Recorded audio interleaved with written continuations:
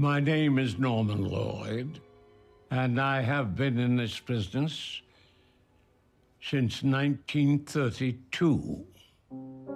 So I've been in it for quite some time. Well, I was a good friend of Charlie Chaplin. I would go up there about three times a week and play tennis. Well, that's Charlie, all those shots of Charlie. And there he is, he's serving. He was, he was good. It's just that he wouldn't wear his glasses. So in doubles, he couldn't play the net. But other than that, he was good. He was okay.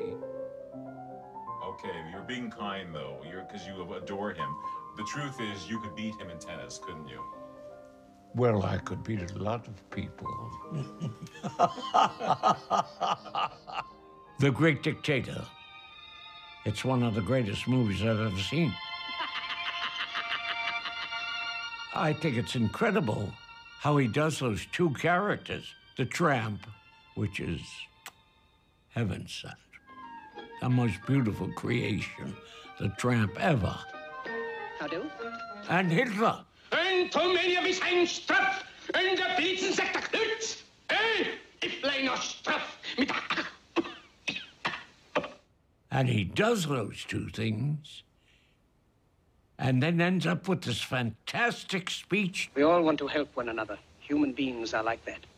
We want to live by each other's happiness, not by each other's misery. He drops out of character, turns to the camera, and speaks into the camera to the people of the world.